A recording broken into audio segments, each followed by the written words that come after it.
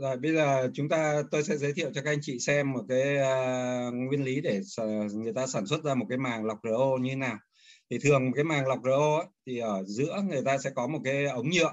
Nó giống như một cái ống thổi sáo của chúng ta ấy. phần phía bên trên này nó có hai cái lỗ này để khi chúng ta thay à, màng lọc RO thì chúng ta ngoắc cái sợi dây thép vào đây để kéo màng à, ra để thay. Thế thì đây là một cái ống nhựa ở giữa có lỗ. Thế nhưng mà cái từ cái phần cái cái lỗ móc này này đi xuống đến uh, giữa cái lỗ này thì người ta sẽ có một cái chặn ở đây, tức là ống không thông suốt từ đầu này, đầu kia mà đến đây nó có cái chặn. Nhằm mục đích gì? Để tránh cái nước từ đầu này nó đi thẳng, tuốt tuần tuột đi theo đường này. Ở đây người ta có một cái chặn. Còn ở giữa cái phần này là người ta đục rất nhiều cái lỗ một ly. Để tị nước tinh khiết nó sẽ đi vào cái phần lỗ một ly nho nhỏ như này và phần sau này thì nó có hai cái răng để nhằm mục đích gì? Cái nước tinh khiết nó sẽ đi vào giữa cái, đi qua các cái lỗ một ly đi vào tâm giữa này này và đi chạy dọc theo cái cái ống này đi ra đường này. Còn cái đường nước thải chạy trượt theo đường nước nó sẽ đi ra đường, ra đường này. Thì uh, đây mình nói qua thì nếu mọi người sẽ nhìn thấy cả cái màng lắp vào trong cốc lọc thì sẽ rõ hơn. Thế thì cái màng này khi có cái ống nhựa ở giữa như này xong người ta gì đặt ra đây một cái ờ, lá màng cái vật liệu màng. Thường là, là vật liệu màng này nó cấu tạo ba lớp đầu tiên người ta giải ra các cái sợi ờ, polyester uh, giống như giải dơm ấy. Sau đấy thì người ta cán lên một lớp vật liệu xốp để đính các cái cái, cái vật liệu ừ, cái sợi polymer lại. Và trên cùng của vật liệu xốp người ta cán một cái lớp nhựa PA nhựa PA là cái nhựa nó giống như cái sợi cước đánh cá của chúng ta đấy. Cán lên một lớp như thế thì sinh là xong một cái cái uh, vật liệu màng. Và vật liệu màng này nếu mà chúng ta xé ra chúng ta nhìn thì nó không khác gì một cái cái bao giấy xi măng đấy, thì đây là một cái cái lá màng. Cái, cái xong đấy thì người ta đặt lên trên này một cái ừ, lớp vật liệu giống như cái màn tuyên của chúng ta đa nô vuông. Đúng không? nhằm mục đích là gì? Để tị nữa cái nước tinh khiết nó sẽ là gì? Nó chảy theo cái màn tuyên này đi ra bởi vì này, tị nữa tôi sẽ ốp lên thêm một cái lá màng nữa để làm sao tách hai cái lá màng để nước nó có thể chảy qua được. Thì trên đây nó gọi là vật liệu dẫn là một lớp màn tuyên. Tiếp theo thì người ta bôi keo các cái lớp đây và thì người ta ốp lên đấy một cái lá màng nữa và toàn bộ cái này người ta gọi là túi màng. Thì cái phần phía ờ, bên trong mà có cái màn pin tôi vừa nói thì là nó sẽ là bên trong nó sẽ chứa nước tinh khiết, thì nước nó sẽ chảy vào cái túi đó. Đúng và bây giờ chúng ta sẽ xem nguyên lý nó lọc như nào. Nước nó chảy bên phía ngoài của các cái lá màng, đúng không nó, cái dòng nước nó sẽ nhặt các cái cái cái hình tròn tròn này ừ, là những chất ô nhiễm chạy dọc theo cái đường này và đi ra ờ, đường thải đúng không? còn nước tinh khiết nó sẽ được ép qua cái lá màng và đi vào các cái lỗ một ly ở giữa này và đi ra đường này đi dọc theo cái ống nhựa này. Đấy, hoặc là chúng ta nhìn hình giới chúng ta sẽ thấy đúng không chất bẩn nó sẽ bám trên bề mặt của cái cái cái vật liệu màng. Còn nước tinh khiết sẽ đi vào giữa đi theo cái màn tuyên đó đúng không đi vào cái ống giữa này và đi ra ở đây. Thế thì để mà dẫn cái dòng nước cấp vào ấy đi thì người ta sẽ phải là gì? Đặt lên đây một cái màn tuyên nữa để dẫn cái nước đầu vào. Cái màn tuyên này nó thô hơn là một lớp màn tin nữa đúng không ạ? để sau đấy người ta dẫn cho nước chảy theo cái màn tin và gì người ta quấn cái này lại thành hình xoắn ốc như này là tạo ra một cái màng. Và sau đấy cái gì người ta mặc áo cho nó. Ví dụ như có thể áo xanh áo đỏ áo trắng áo vàng là tùy. Thì chúng ta sẽ thấy một cái màng bên ngoài nó sẽ có màu. Và sau đấy ở đây phía trên là người ta cho một cái răng để tránh cái chuyện nước nó chảy dọc theo cái cốc màng nó đi theo dọc thành. Đây, đây nó sẽ có răng người ta gọi là răng muối hoặc là răng răng răng chặn nước chảy dọc thành đấy. thì sau khi mà lắp đầy đủ như này đây là đầy đủ một cái cái màng RO và nước nó sẽ lọc như này nước từ trên đi xuống đúng không nước thải nó sẽ đi ra bên cạnh này. Còn cái nước tinh khiết nó đi vào tâm ống đúng không nó đi ra phía dưới này màu xanh xanh này đi vào đây. Đấy, chính vì thế nó có cái răng cao su để nó tách cái đường thải và cái đường nước tinh khiết hai cái răng nhỏ này. Đấy thì đây là cấu tạo của một cái ờ, màng RO cái màng RO này cái, cái vì cái cán cái lớp PA lên trên cùng ấy cho nên là gì cái khe hở nó rất là nhỏ. Khe hở lọc của nó là gì 10 mũ trừ 4 micron tức là 0,0001 micron. Đấy. Thì à, đây chúng ta sẽ xem cái màng sau khi lắp vào cái cốc màng đây bình thường nhìn ngoài chúng ta nhìn thấy cái cốc màng như này đúng không ạ? Lắp cái màng vào trong thì là đấy chúng ta sẽ thấy là nước nó sẽ được lắp vào trong cốc. Thì trong cái cốc màng này cái phần mà đi lên trên ấy, chúng ta thấy có một cái cái uh, phần đỏ đỏ chặn đỏ đỏ. Phía bên trên phía trên đỉnh của cái cái cái đường này. Thì đấy là đường thải đi lên và nước bị bóp chặt lại và chảy từ từ qua cái đường thải phía bên trên đỉnh. Còn phía bên dưới chúng ta nhìn thấy có một cái hình tròn một viên đi tròn nhỏ nhỏ nó lắc đi qua lắc đi lại đấy chính là cái van một chiều nhằm mục đích là gì? Nước nó chỉ cho phép nước tinh khiết chạy qua cái viên bi đấy thôi, còn cái nước mà ngược lại là nó không không chảy ngược lại vào màng được. Đấy. thì đây là cái cấu tạo của một cái màng, và gì? Phía ngoài nó là một cái cốc màng. Đấy thì à, về, đây là cái trái tim của công nghệ RO có nghĩa là gì? À, nếu mà nói đến à, RO thì sẽ nói đến cái cái việc đầu tiên nó phải có cái màng lọc này. Thế thì cũng giải thích luôn cho các anh chị biết là tại sao nó gọi là RO RO viết tắt của hai từ tiếng Anh. R là reverse tức là ngược. O là osmosis osmosis là thẩm thấu. Thế thì tại sao gọi thẩm thấu ngược mà không phải gọi là thẩm thấu không? Đúng không? Mà người ta không gọi thẩm thấu xuôi mà là người ta gọi thẩm thấu ngược. RO là thẩm thấu ngược mà. Thế thẩm ừ, trong tự nhiên ấy, chúng ta sẽ thấy là gì? À, một cái lọ muối chúng ta mà mở nắp ra đúng không ạ? Một lọ muối khô mở nắp ra một lúc thì gì? Ờ, lọ muối sau một lúc là lọ muối nó trương lên đúng không nó hút nước vào đấy. Lý do làm sao? Nguyên lý tự nhiên là gì? cái dung dịch đậm đặc nó sẽ hút cái dung dịch ít đậm đặc hơn. Thế thì khi lọ muối của chúng ta là là gì? đậm đặc là muối đậm đặc. Khi tiếp xúc môi trường không khí là nó có hơi nước đúng không ạ? Là dung dịch ít đậm đặc thì nó sẽ hút nước ở môi trường không khí vào. Và cũng qua đây thì để giải thích một cái hiện tượng tự nhiên mà mọi người thường thấy là tại, tại sao nước muối lại diệt được khuẩn? Chúng ta xúc miệng nước muối đúng không ạ? Chúng ta dùng muối sát khuẩn. Lý do làm sao? Con khuẩn ấy nó giống như một cái quả bóng bay trong đấy nó có chứa nước chứa dung dịch của nó đúng không cái cái dung dịch sống của nó. Khi mà con vi khuẩn nó được thả vào môi trường nước muối thì dung dịch nước muối xung quanh của chúng ta nó đậm đặc hơn. Và môi trường trong cái quả bóng bay tức là trong con vi khuẩn thì nó loãng hơn. Cho nên là nước muối nó sẽ hút cái nước của con vi khuẩn ra và con vi khuẩn lúc đấy là bị hết nước và bị chết. Thì đấy là nguyên lý tại sao là nước muối giết được khuẩn. Thì tương tự đấy là tự nhiên có nghĩa là gì? Lấy nước muối à, lấy, lấy dung dịch đậm đặc hút cái dung dịch ít đậm đặc hơn. Thế thì bây giờ chúng ta đang có nước bẩn, đúng không ạ? Là dung dịch ừ, ừ, nước bẩn là dung dịch rất là nhiều tạp chất, đúng không? rất nhiều chất bẩn, hay còn gọi là muối đậm đặc. Mà chúng ta cần lấy nước sạch hơn, tức là gì? Ít tạp chất trong đấy dung dịch loãng hơn, đúng không ạ? Thế thì ừ, nếu mà chúng ta dùng cái nguyên lý tự nhiên có nghĩa là gì? Đặt nước sạch cạnh nước bẩn thì nó sẽ hút nước sạch vào nước bẩn và làm cho nước bẩn dần dần đỡ bẩn đi. Nhưng mà ở đây, mục đích của chúng ta lại là gì? Nước đang bẩn, chúng ta trích từ cái nước bẩn đấy ra, làm sao được càng nhiều nước sạch? Chính vì vậy là gì? Người ta sẽ phải ép cái cái nước sạch nước bẩn đấy ép với một áp lực lớn để nó chui qua được cái màng và sang được nhiều nước sạch thì đấy là gì? Thẩm thấu ngược. Đi bắt nó đi ngược với quy luật tự nhiên không cho nó chạy, chạy theo cái chiều gì? Từ loãng vào đặc mà bắt nó từ đặc đẩy sang phần loãng đúng không? thì đấy là thẩm thấu ngược. Thế thì à, đây là cái màng RO thông thường à, cái màng RO rất mịn cho nên là gì? Trước đó nữa nó sẽ có một số cái lõi để hỗ trợ nó. Tức là lọc bớt những cái tạp chất thô ví dụ người ta thông thường trên thị trường hiện nay các cái máy RO thì người ta sẽ có một cái lõi lọc là 5 micron dùng bằng bông PP hay nói cái khác là gì? Người ta phun cái nhựa PP với dạng sương mù lên trên một cái cái cái, cái uh, thanh thép là gì? Cái thanh thép ấy quay tròn và dung dịch nó cứ phun thế thì, thì các hạt nhựa nó bám và nó tạo ra một cái lớp bông nén PP ở xung quanh cái trụ sắt và người ta rút trụ sắt thì chúng ta có gì? Có một cái lõi bông PP thế thì ờ, đấy là thường cái khe hở của bông PP đấy là nó gì nó khoảng 5 micron bên ngoài thì nó to hơn nhưng mà càng vào tâm lõi thì khe hở nó càng hẹp hơn và thì nó sẽ chặn được những cái chất cặn mà lớn hơn 5 micron sau đấy thì thường trong nước của chúng ta nó sẽ có là gì? Có các cái ờ, chất hữu cơ, ví dụ như phân hóa học, thuốc trừ sâu, đúng không ạ? Rồi ờ, khí clo, các loại khí. Thế thì than để mà loại được các cái cái tạp chất như là chất hữu cơ rồi khí clo dư thì người ta thường dùng than hoạt tính. Than hoạt tính là nguyên lý tại sao nó lại hút được các chất hữu cơ và khí clo là như này. Cái than, ví dụ như cái vỏ, quả dừa của chúng ta, người ta đốt lên thành than, sau đấy người ta nung ở cỡ khoảng ngàn ba trăm độ trong môi trường yếm khí, tức là không có không khí. Thì cái hạt than đấy thì nó sẽ nứt nẻ ra và nó sẽ tạo ra rất nhiều khe kẽ. Cái, các cái chất hữu cơ, các chất bẩn, nó sẽ chui vào các khe kẽ khe kẽ đấy. Và cái này nó có một cái, nó gọi cái khả năng hấp hấp thụ, hấp phụ là hút các cái cái tạp chất vào trong các cái khe kẽ đấy. Cho nên than mà gì càng nứt càng xốp thì gì, khả năng hấp thụ càng cao. Đấy cho nên là gì thứ nhất là bề mặt than mà càng nhiều lỗ nứt càng lớn thì khả năng than sẽ hấp thụ được sẽ càng nhiều. Thì phần này thì nói về cái công nghệ lọc tổng hay vân vân tôi sẽ nhắc lại.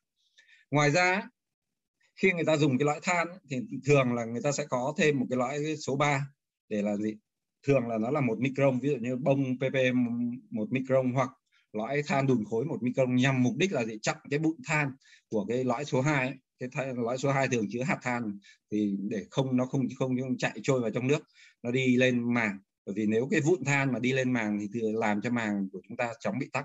Đấy. Cho nên tại sao cái máy công nghệ RO thông thường ở trên ngoài thị trường nó có ba lõi là vì như vậy, đúng không ạ? Để nó gánh bớt cho cái thằng màng RO không phải lọc những cái cái cái chất quá thô màng RO nó sẽ tập trung vào lọc các cái ion kim loại, tức là các cái cái cái cái tạp chất mà nó kích thước nhỏ hơn.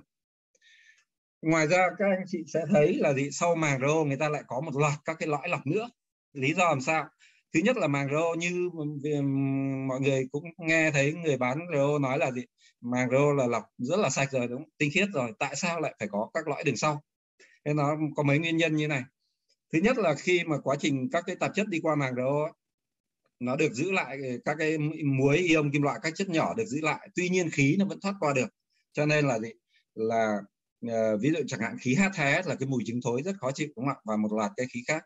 Thế thì nó sẽ có sau màng đâu. Thường người ta sẽ lắp một cái loại than than hoạt tính uh, chất lượng cao để hấp thụ bớt cái mùi. Ngoài ra ví dụ như là nước lưu cữu trong bình chứa nó cũng có thể sinh ra mùi thế thì uh, khi mà mà từ cái bình áp này nó đi chạy ờ, lên vòi ấy, thì nếu mà nước lưu trữ nó có thể sinh mùi thì bao giờ người ta đường sau này người ta cũng có ít nhất một cái loại mà chứa than hoạt tính để hấp thụ mùi.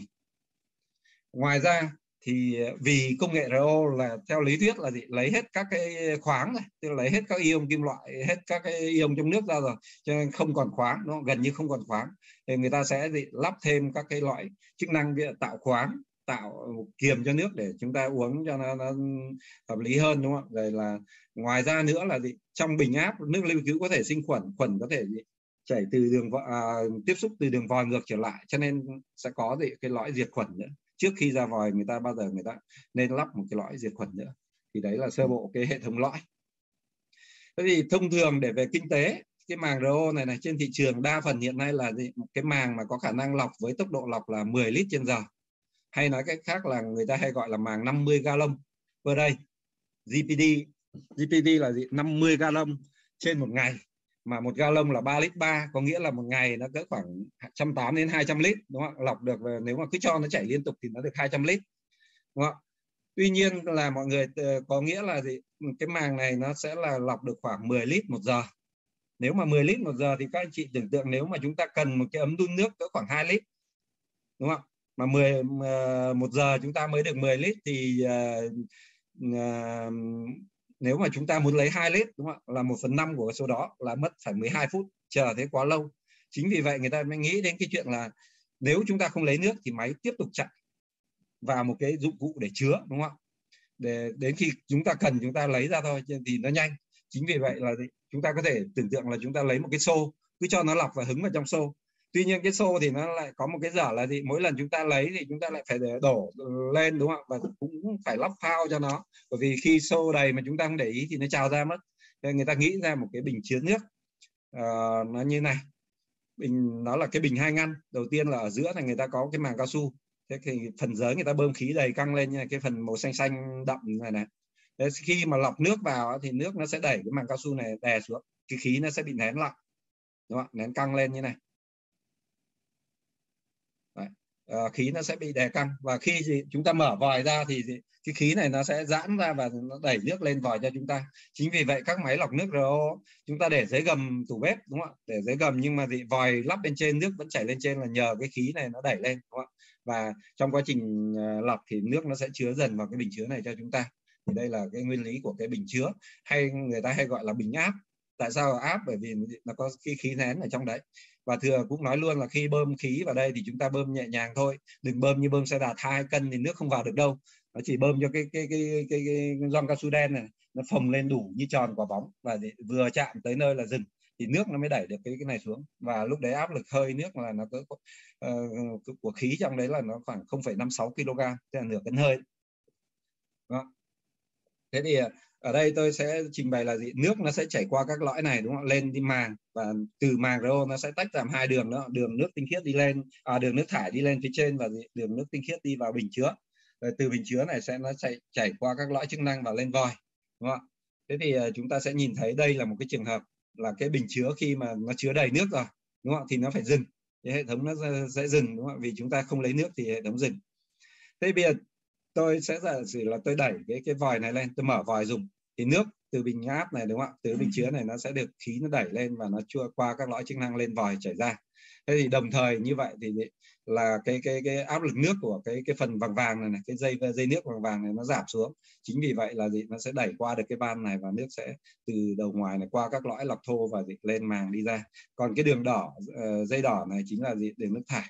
Và tôi sẽ cho mọi người xem là bây giờ ví dụ như tôi mở vòi nước thì ờ, hệ thống là lọc như này đấy mở vòi nước thì bình nó sẽ đẩy nước ra cho chúng ta dùng và hệ thống lại tiếp tục lọc.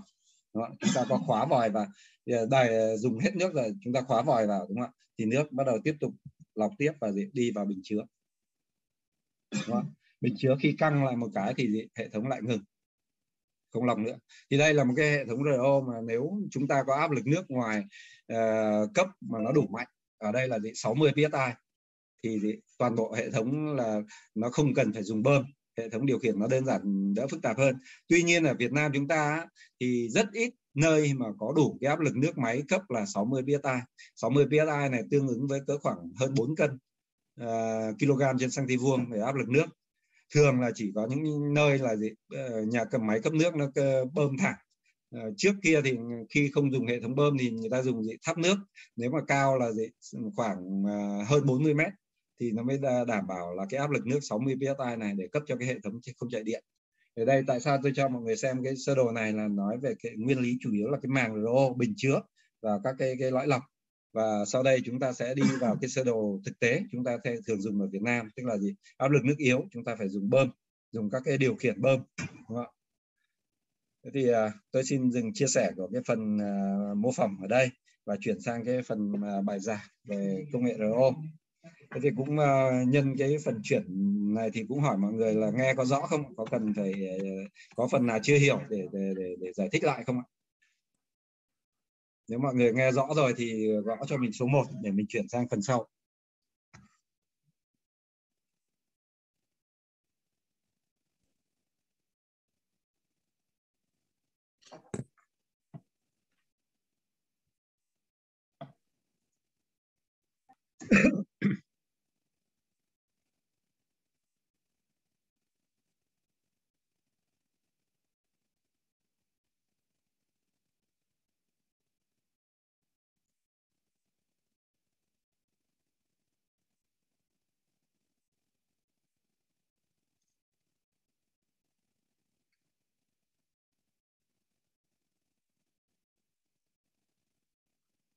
Rồi, mọi người nhìn rõ màn hình chưa?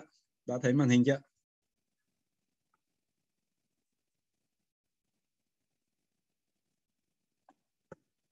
Rồi, bây giờ thế thì từ nãy giờ nói đúng không ạ về mô phỏng cái công nghệ RO tóm lại là gì? Chúng ta tóm tắt lại công nghệ RO quan trọng nhất cái trái tim của công nghệ RO là màng lọc RO đúng không ạ? Màng lọc RO và gì? nó sẽ tách ra sau khi nước nó qua màng RO nó sẽ có hai đường đúng không ạ? một đường nước tinh khiết và một đường gì đường nước ra thải là toàn bộ các cái chất bẩn tạp chất là nó đi cùng với nguồn nước đầu vào nó đi ra đây. Và để ra đường thải thì bao giờ trên đường này nó cũng có một cái van nó gọi van hạn chế nước thải cho nước thải chảy ra từ từ thôi. Chứ không nếu mà chúng ta mở thông cái đường này ấy, thì nước nó đầu vào nó phun qua đường thải nó ra hết và không có đường nước lọc. Cho nên cái này nó sẽ có một cái van để làm cho gì? Van hạn chế nước thải để nước thải nó ra từ từ thôi. Và gì? À, với cái hệ thống mà nước đầu nguồn yếu thì chúng ta phải cần phải cấp cho nó một cái bơm đúng không ạ? Thì đấy là về nguyên lý cơ bản của một cái công nghệ RO tuy nhiên một cái máy thực tế thì nó lại uh, cần chi tiết ra như sau. Thứ nhất là gì? Chúng ta cấp nước ở đầu vào.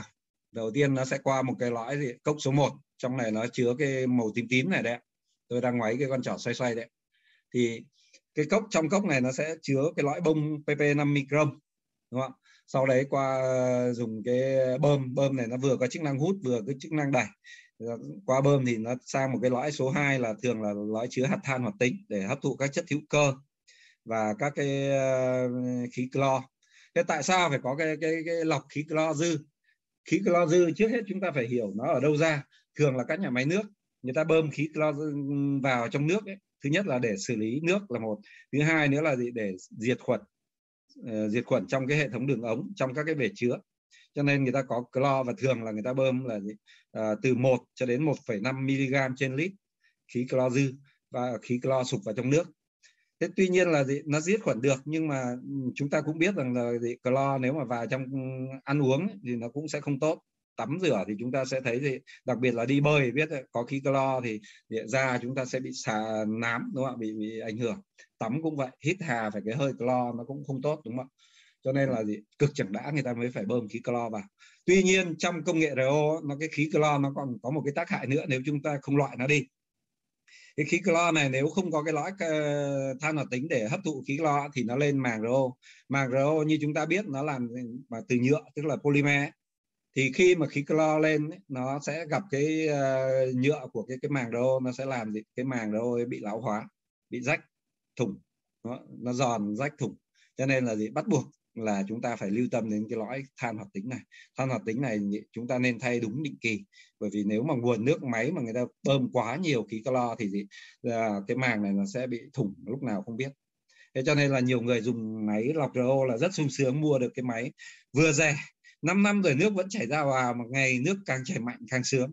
Cái đấy là sai lầm hoàn toàn thực ra là màng nó sau hơn năm nó đã rách mất rồi. Cho nên là chúng ta sau này là hơn một năm, hai năm chúng ta nên đo, kiểm tra cái cái cái cái nước tinh khiết xem là là nó có có còn tốt không? Bằng cái bút TDS như hôm trước tôi có giới thiệu ấy đo xem là gì. Cái hàm lượng chất rắn hòa tan trong đấy nó có phải nhỏ hơn đầu vào rất nhiều lần. Nó qua màng RO nó loại được khoảng 95 đến 98 99 phần trăm. Có nghĩa là gì? Nước đầu vào TDS chúng ta đo là 300 thì nước đầu ra nếu mà viện tôi tính là ờ, nó loại được 95 phần trăm là còn 5 phần trăm đúng không ạ? 5 phần trăm nhân 3 thì có nghĩa nước tinh khiết là lúc đấy TDS nó chỉ là 15 thôi. Nếu mà tự nhiên chúng ta thấy nó nhảy lên lớn hơn 40 thì là màng có đôi chỗ thủng mất rồi. Đấy. thì ờ, lưu ý là gì? Cái lõi than này thông thường nó không tắc mà là nó sẽ bị no, tức là nó hấp thụ đầy đủ hết khí clo và chất hữu cơ vào đây thì nó no, nước nó chảy trượt qua nó. Và khi nó no rồi thì nó không hấp thụ được khí clo thì nó sẽ làm rách màng. Nó là khí clo lên đây làm rách màng cho nên cái lõi này chúng ta phải thay theo đúng định kỳ, theo hướng dẫn của nhà sản xuất. Còn cái lõi số 3 thường lắp ở đây là một cái lõi mà có khe hở khoảng một micron để chặn cái vụn than nó không cho lên màng. Đấy, thì là đây là ba cốc cơ bản, người ta thường gọi là ba cốc lọc thô qua màng RO đúng không ạ? Lên đây thì sau màng RO thì chúng ta sẽ đi qua một loạt lõi chức năng như lõi than hoạt tính để hút mùi khử mùi đúng không ạ? Rồi cả qua lõi tạo khoáng qua lõi uh, tạo kiềm vân vân. Qua lõi diệt khuẩn. Đấy. thế thì trên này cái đường trên sau cái màng RO chúng ta có hai đường đúng không cái đường mà có chữ flow này này chính là cái van hạn chế nước thải ở đây. Thực ra nó chỉ là một cái ống và trong đấy nó thắt lại có cái chỗ là nước chảy qua phải qua cái khe nó chỉ có chưa đầy một ly thôi để nước thải nó chảy ra đấy, từ từ từ từ thôi, chứ không được chảy nhanh. Bởi vì nếu mà chúng ta tháo cái van hạn chế nước thải này ra thì nước đầu vào nó chảy qua màng, chảy tuột qua đường này hết, chứ không không không lên được đường nước tinh khiết. Cho nên là cái này nó sẽ phải bắt buộc có cái van flow. Và thường mọi người quan sát trên cái van flow này nó sẽ đề là gì? E, FR tức là flow restriction là hạn chế nước thải, hạn chế ờ, dòng, đúng không? và nó đề là gì? 300 hoặc là 400 thế cái ý nghĩa của 300 và 400 này có nghĩa là gì? 300 có nghĩa là 300 cc hay là 300 ml trên một phút. Thế thì một phút mà 300 ml thì là gì? Một giờ bao nhiêu 300 nhân với 60 đúng không ạ? Là 18.000 ml trên một gì? Một giờ. Có nghĩa là 18 lít giờ. Còn nếu mà nó đề là gì? 400 thì 400 nhân với 60 đúng không ạ? 400 nhân 60 thì 24 lít giờ. Thì từ nhìn trên này chúng ta sẽ biết là gì? À, cái dòng nước thải ra, tối đa nó chỉ được phép là bao nhiêu đúng không ạ? Và thường là màng rô, nếu mà màng 50 thì chúng ta sẽ có đường nước tinh khiết là 10 lít trên giờ. Nhân thể nói về dòng. Thì vừa rồi tôi đào tạo hai khóa rồi. Thế thì mọi người học, nhưng mà nghe các con số thì bởi vì chúng ta là lý thuyết, cho nên là trên thực tế xảy ra là chúng ta lại là không hình dung ra nó là như thế nào là 10 lít, thế nào là là là là 20 lít. Thế thì à, nó mới có chuyện là các anh lắp xong rồi mới ờ, ờ, khách mới thắc mắc sao yếu thế? Bởi vì sao? Nước nó mới vào, chưa chứa trong bình chứa, nước nó chảy thẳng ra vòi từ qua màng đầu với lưu lượng 10 lít giờ. Thì cái dòng nước 10 lít giờ nó như này, nó là một dòng chảy liên tục nhưng mà gì cái cái cái dòng nước ấy chúng ta nhìn thấy là gì? Giống như một sợi dây điện, một ly thôi. Nó bé xíu như thế và chảy đều đều đều nhỏ nhỏ như thế. Thế thì ờ, tại sao là chúng ta hứng nước nó nhanh là phải nhờ có cái bình chứa này này. Nó tích dần tích dần vào bình chứa. Lúc chúng ta mở ra thì nó đẩy ra với lưu lượng khoảng 200 lít giờ thì chúng ta hứng mới nhanh. Còn nếu máy mới chúng ta khóa cái bình chứa này hoặc khi máy vừa mới lắp mà nước nó chưa kịp chứa vào bình chứa chúng ta mở vòi lấy luôn ấy thì cái dòng nước ấy nó là gì? Chảy rất rất nhỏ. Và, và thì nó liên tục thật nhưng mà thì nó như một cái sợi dây điện một ly nó đều đều nhỏ nhỏ như vậy. Thì cũng nhắc luôn để không nhiều khi anh em đi lắp xong ngạc nhiên mà mình lắp có đúng hay sai mà tại sao cái dòng nước nó yếu thế đúng không ạ? Thế thì chỉ khi nào chúng ta khóa vòi lại và tích nước trong bình chứa này này, khoảng ờ, hai ba mươi phút chúng ta mở thì vòi này nước nó chảy mạnh và nó sẽ mạnh nhất khi mà gì cái bình ờ, chúng ta khóa vòi này và khoảng sau một tiếng từ bình này đầy căng thì chúng ta mở thì dòng nước nó sẽ rất là mạnh ở cái vòi dùng, đúng không ạ? Đấy thì ờ, nói về về cái dòng, ở đây chúng ta sẽ có dòng nước thải và dòng nước tinh khiết. Thì cái hệ thống này khác với cái hệ thống mà vừa nãy tôi mô phỏng ở chỗ là nó phải dùng bơm để gì đẩy tăng cái áp lực nước. Tại sao phải dùng bơm như tôi nói vừa nãy là gì? Áp lực nước đầu vào của màng RO nó yêu cầu là gì? Phải 60 psi thì nó mới, mới, mới, mới đẩy được nước tinh khiết ra ổn định và chất lượng nó mới cao được. Cho nên là gì? Trước màng RO này chúng ta luôn luôn nhớ là gì? Điều kiện của nó là chúng ta phải làm sao có cái áp lực trước cái, cái khi vào màng RO là gì? 60 psi tệ lắm chỗ nào mà nước yếu hoặc bơm yếu thì 50 thì vẫn ra được nhưng mà gì? Cái TS đầu ra nó sẽ không tốt đâu. Nên tốt nhất là nó sẽ phải đạt được từ 60 trở lên thì nó sẽ tốt đúng không? thế thì thường là người ta sẽ gắn cho nó một cái bơm để tăng áp. Nó sẽ hút nước từ gì? Ờ, cốc số 1 này qua và đẩy lên ờ, màng RO thế thì cái bơm này chúng ta hãy tưởng tượng là nó sẽ phải dùng điện đúng không ạ? Muốn dùng điện thì chúng ta sẽ cắm điện liên tục chứ không phải là khi, khi nào chúng ta dùng chúng ta cắm điện và chúng ta chờ bao giờ nó đầy bình chúng ta rút. Như thế quá bất tiện đúng không ạ? Chúng ta phải ờ, gì? Chúng ta phải là điều khiển nó. Tức là khi cần lọc thì bơm chạy. Mà khi bày đầy bình chứa này thì máy bơm phải ngừng. Không không có điện nữa máy bơm phải ngừng đúng không ạ? Khi nào chúng ta dùng nước đi rồi thì cần lọc thì tự động máy bơm phải bật chạy lại. Muốn thế thì người ta sẽ có một loạt cái công tắc điều khiển ở đây chúng ta sẽ có hai công tắc điều khiển. Thứ nhất ở đây ngay cái sau cái cốc tím này chúng ta có một cái van gọi là van áp thấp. Thực ra nó không phải là van áp thấp mà nó là một cái công tắc thôi. Công tắc này nó là tiếp điểm để đóng cho cái mạch điện nó kín. Thế bình thường cái van công tắc van áp thấp này là gì? Cái mạch à, cái, cái, cái công tắc này là hai cái tiếp tiếp điểm để nó hở ra như này. Khi mà có áp lực nước vào đúng không thì nước nó đẩy cho hai cái tiếp điểm để chạm nhau. Thì mạch điện có điện và lúc ấy bơm có điện thế thì cái van áp thấp này nhằm mục đích là gì khi nào có nước vào đủ áp lực thì gì? nó mới đóng mạch điện cho bơm chạy phòng trong trường hợp là gì mất nước không có nước cấp thì gì? bơm cũng không chạy để tránh uh, việc cháy bơm ví dụ như trên bể chúng ta hết nước rồi mà bơm cứ chạy suốt ngày đêm bởi vì gì? bình chứa chưa có máy nó báo là cần phải lọc nên nếu mà không có cái van này để báo là không có nước ngắt bơm thì bơm sẽ chạy suốt nên là công tác van áp thấp nhằm mục đích là gì chỉ có nước thì bơm mới được chạy còn cái van áp cao này ở đây là gì? Khi mà chúng ta bơm nước chứa đầy bình chứa rồi đủ một cái áp lực nhất định rồi thì nước ở đây có áp lực lớn nó sẽ đẩy cái, bình thường cái cái van áp cao này chính là một cái công tắc thôi. Nhưng mà công tắc này thường là hai tiếp điểm này nó dính vào nhau tức là mạch điện luôn đóng. Thế nhưng mà khi mà bình chứa chứa đầy rồi ấy, thì áp lực ở đây nó đẩy cho hai tiếp điểm này nó rời nhau ra làm cho gì? Mạch điện không không không có điện nữa và gì? Bơm sẽ không có điện mà không chạy được nữa. Thì đây là cái công tắc van áp cao thế để van công tác van áp cao hoạt động được ấy, thì ở đây chúng ta phải lưu ý thì ngay sau cái cái cái, cái màng rô chúng ta có một cái van một chiều. Cái này rất quan trọng nhé vì nhiều người sau này sửa máy hay lắp máy là là là phải lưu ý cái này. Cái van một chiều nó sẽ lắp ngay sau cái trên cái đường nước tinh khiết này. Để làm sao? Khi nước bơm đầy bình chứa đúng không? Cái van một chiều này không cho nước từ bình chứa đi chui ngược vào, đi vào màng và ra đường thải mất. Cho nên nó giữ cái khoảng từ gì? Từ van một chiều cho đến vòi này. Vòi chúng ta khóa vào van một chiều này, không cho nước chảy ngược. Thì từ cái van một chiều cho đến vòi chúng ta có một cái áp nhất định. Nếu không có van một chiều thì nước nó sẽ trôi theo đường ờ, đường này, đường tích khiết này đi, nó trôi ra thải, nó tụt áp. Thế là bơm cái tành tạch tành tạch chạy liên tục. Nên là bắt buộc phải có cái van một chiều này, đúng không ạ? Để giữ cái nước ở trong cái khoảng này khi mà chúng ta không dùng thì toàn bộ nước này có một cái áp lực nhất định và van áp cao này bị nhả ra, không không không có điện, đúng không? thì hệ thống này là ở đây chúng ta cần nhớ là bị van áp thấp là chỉ cho máy bơm chạy khi mà nguồn nước có có có có nước. Van áp cao này thì sẽ không cho bơm hoạt động khi mà bình chứa đã đầy, đủ căng rồi thì cái công tắc này nó sẽ nhả ra và không cho bơm có điện, đấy. Thì à, tôi đi sang cái sơ đồ điện thực tế của một cái cái máy RO thứ nhất là gì? Để thường là chúng ta, trong nhà chúng ta sẽ có điện 220V thế nhưng mà để cho an toàn sử dụng và cái hệ thống bơm và một số linh kiện người ta thường là chuyển đổi xuống nó là gì? Điện một chiều và 24V và gì? Và điện một chiều vừa là để an toàn, vừa để cái bơm này hoạt động nó hiệu quả hơn, đỡ tốn năng lượng hơn. Thì người ta qua, từ điện 220 người ta chuyển đổi qua một cái cục đổi nguồn. Hay bên ngoài người ta hay gọi là biến áp. Ờ, thực ra dùng từ biến áp nó không chuẩn mà gọi là cục đường nguồn là chuẩn hơn, bởi vì đó nó đổi từ điện 220 sang thành điện 24V 24V đã thành rồi, nhưng mà 24V đây là một chiều. Thế này thì nó có cực dương, cực âm, còn cái dòng điện xoay chiều thì gì? Nó không có ờ, nó cứ đảo chiều liên tục, đúng không thế thì đây là thường là gọi cục đổi nguồn 24V ờ, và điện, bắt đầu cấp từ cái cục đổi nguồn này và nó cấp điện cho cái hệ thống các thiết bị linh kiện điện của máy RO thì trong cái này quan trọng nhất là chúng ta có cái bơm đúng không? Chúng ta phải điều khiển cái bơm. Thế cái bơm này thì nó sẽ được cấp điện bởi gì, van áp cao này phải đóng này cái công tắc này là, là gì? Chỗ này nó phải phải phải liền mạch tức là điện nó phải liền mạch.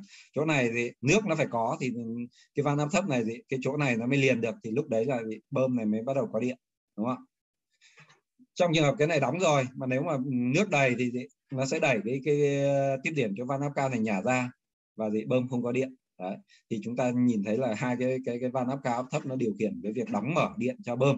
Tương tự như vậy, cái van từ là cũng là gì? Cũng được điều khiển bởi van áp thấp áp cao. Thì tại sự nói về cái van từ, cái van từ mà sau cái van áp thấp này, tại sao lại phải có cái van từ ở đây? Đó nước cấp vào đúng không chạy qua đây. Thế bây giờ ví dụ như là trong trường hợp mà ờ, bây giờ ừ, chúng ta nước đầy rồi đúng không ạ? Bình áp chứa ừ, bơm dừng rồi nhưng mà nước nó vẫn qua được qua cái này đi lên màng và gì, nó ra đường thải. Riêng cái đường thải của chúng ta là gì? Là nó chỉ là một cái đường ống và bị thu hẹp lại thôi. Có nghĩa là nước vẫn chảy tự do ra được, chảy từ đây lên màng và qua đường thải. Thế thì người ta phải nghĩ đến cái chuyện là nếu mà hệ thống dừng rồi không lọc nữa, thì nước không được chảy ra đường thải, đúng không? Thế thì người ta phải lắp vào đây một cái van từ. Cái van từ như nào? Khi mà hệ thống bơm chạy thì thằng van từ có điện, đúng không? Thì nó mở cái cổng này ra để cho nước nó đi qua van từ vào bơm và lên màng được và lúc đấy ra, ra thải ra đường nước tinh khiết được. Bơm ngừng một cái thì cái van từ này cũng mất điện đúng không mất điện thì là nó đóng cổng này lại và nước không không qua nổi van từ nó vào đây nó dừng. Cho nên thì không bị thất thoát nước. Đấy. cho nên cái van từ này nó cũng gì đấu cùng với bơm. Nếu bơm có điện thì van từ này có điện. Nếu mà bơm mất điện thì van từ này mất điện. Đấy là sơ đồ về về sơ đồ điện của của cái hệ thống này đấy thì uh, quan trọng nhất là mọi người nắm được cái nguyên lý này. Sau này thì đi lắp hay sửa chữa hoặc là gì tôi có gọi điện hướng dẫn kiểm tra chỗ này chỗ kia thì mọi người cũng sẽ sẽ sẽ hình dung ra là đang nói về cái gì cũng nó nằm ở đâu. Và đặc biệt là này, mọi người nắm được cái nguyên lý này thì sau này dạy mọi người cách sửa chữa hay là khắc phục sự cố nó rất là đơn giản. Nhưng nếu chúng ta không nắm được nguyên lý hoạt động của nó thì chúng ta cứ chữa mò giống như học kể ờ, học kể đàn mà cứ một anh anh cầm tay ở đây là nốt đô nhé kia là nốt son nhé là học từng nốt một. Mà chúng ta phải học nhạc lý đúng không ạ? Xong từ đấy thì chúng ta chỉ nhìn vào bản nhạc chúng ta đánh thì đây tương tự như vậy chúng ta sẽ hiểu được cái nguyên lý và chúng ta suy ra tại sao nó bị lỗi. Ví dụ như đơn giản là các bạn sẽ về ngẫm nghĩ là à, bây giờ nếu bơm chạy liên tục cái bơm này tự nhiên bây giờ chúng ta lắp máy cho khách xong nhưng mà khách báo là, là nào mà bơm nó cứ chạy liên tục. Thế thì nguyên nhân từ đâu? Bơm mà chạy liên tục thì có nghĩa là chúng ta nhìn cái mạch điện này này là van áp cao là nó đóng rồi có nghĩa là một là không đầy bình áp, đúng không hoặc đầy bình áp thì gì? Thì là cái van này không nhả được thì chứng tỏ van này có vấn đề, đúng không hoặc là gì? Ờ, bơm chạy liên tục là cái thằng này chứng tỏ là van áp thấp này đã được đóng rồi, đúng không? Bơm nó cứ chạy liên tục. Thì có, chỉ có mỗi cái cái lý do là thằng này không nhả được, van áp cao không nhả được. Mà van áp cao không nhả được thì gì? bình này một là gì? Chưa đầy áp chưa đủ đúng không hai là gì? Nó đầy rồi nhưng nó gần đầy nhưng mà cứ bơm lên đây thì ví dụ dưới vòi chúng ta lắp hở ra chẳng hạn nó chảy gì gì nước ra nó không không không giữ được áp nó tụt. Hoặc cái van một chiều này nó gì bị kênh nó không giữ cái chiều ngược lại mà nó, nó lên xong nó lại gì, trôi ngược lại đường nước này nó đi ra. Đấy thì nếu chúng ta hiểu nguyên lý chúng ta sẽ suy được là lý do tại sao bơm nó bị lỗi chạy liên tục. Là gì? Bơm chạy liên tục chỉ có trường hợp là gì? Điện luôn luôn đóng cho nó thôi thế thì đấy là sơ đồ nguyên lý của cái, cái, cái công nghệ RO ở đây tôi sẽ giới thiệu cho mọi người một số cái linh kiện mà mọi người sẽ nhìn thấy. Bây giờ trong cái máy uh, uh, lắc RO của chúng ta thì chúng ta sẽ có gì có một cái bộ EcoMax là trong này là cái chứa than hoạt tính. Phía ngoài của cái cái máy này thì chúng ta đã gì? Thường có một cái bộ lọc chặn tức là lõi bông PP đi kèm tặng kèm hoặc là nói chính xác là đi kèm với máy. Để lọc cặn bẩn thô xong sang vào cái lõi Ecomax là cái lõi than hoạt tính đúng không? sau đấy thì gì?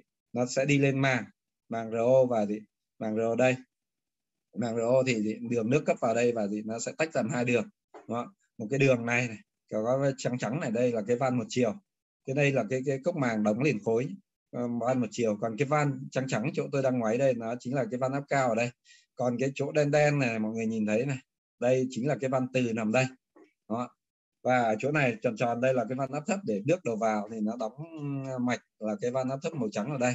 Ngoài ra thì chúng ta sẽ nhìn thấy cái rút ở trên cái đường bên cạnh của đường sau màng đó chúng ta sẽ có một cái màu xanh xanh này, chính là cái van hạn chế nước thải. Trên này nó sẽ ghi bao nhiêu cc thì mọi người sẽ xem, đúng không? và cái cục đen xì to đùng ở giữa này, đây là cái gì? Cái bơm bơm tăng áp.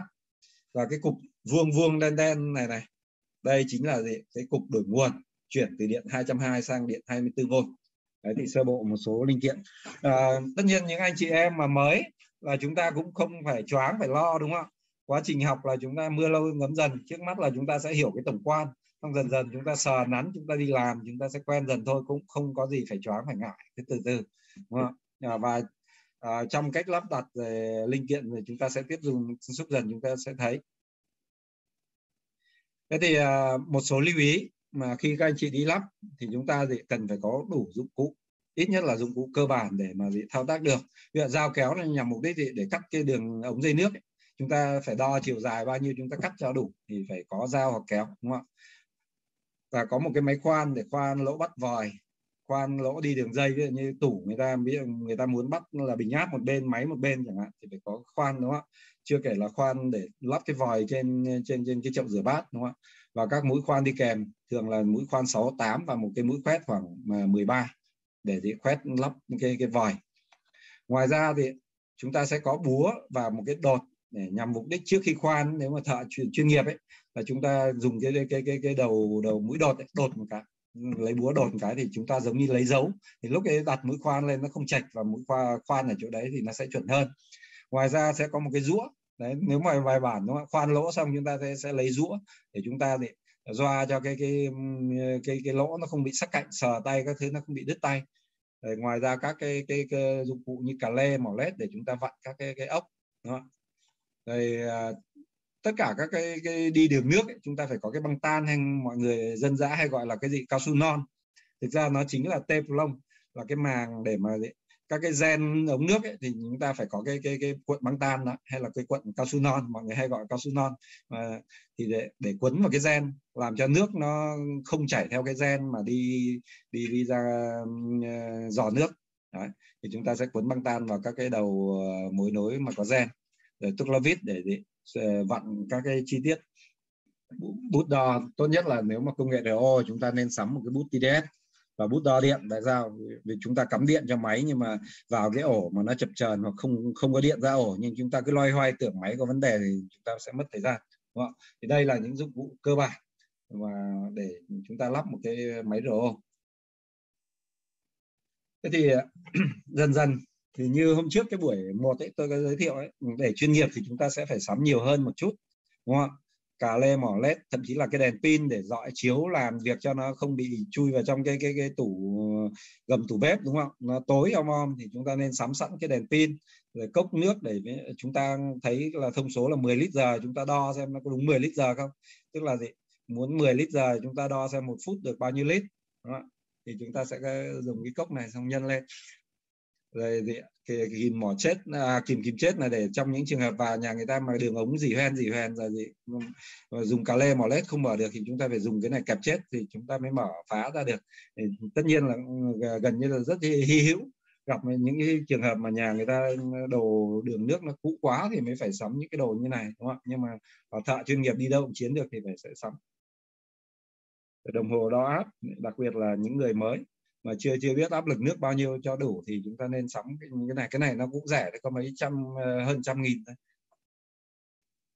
Đây là các cái cà lê đúng không ạ? Một cái rũa cái bút đo điện dao kéo và cái này cái chi tiết mà tôi ở móc này là để, để kéo màng mỗi lần thay thế màng.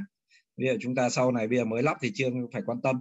Ờ, sau này khi mà người, màng người ta tắt rồi người ta bảo là đến thay cho tôi cái màng thì nên sắm một cái cái cái thanh thép bẻ vuông sẵn như này để vào ngoắc cái màng đấy là kéo ra đó thế trên này, trên cùng này tôi đang ngoáy đây là bút TDS ngoài ra thì đây là cái máy khoan. Chúng ta sẽ có thêm một cái khăn. Để vì lắp máy xong chúng ta sẽ lau khô sạch sẽ đi để chúng ta ngắm xem là liệu có cái chỗ nào chúng ta vặn chưa chặt mà nước nó dỉ ra không. Đó, chứ không phải đến chủ nhà rồi khách rồi mới bảo cho tôi mượn cái rẻ cái khăn. Đây là các cái mũi khoan khoan bê tông có, khoan kim loại có. Đúng không? Mũi đột và búa. Và gì để chuyên nghiệp sau này ờ, khi mà chúng ta đi sửa chữa bảo hành chúng ta nên có một túi phụ kiện.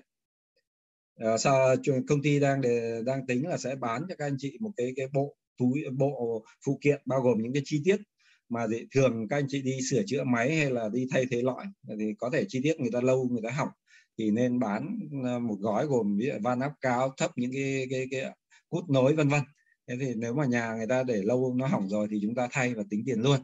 Thì đây là sẽ chúng ta đi kèm một cái túi gồm những cái linh phụ kiện mà hay hỏng à, dễ phải thay thường xuyên. Việc lõi lọc các thứ chúng ta tống vào đây chúng ta đi vác khoác lên vai là chúng ta chiến đấu.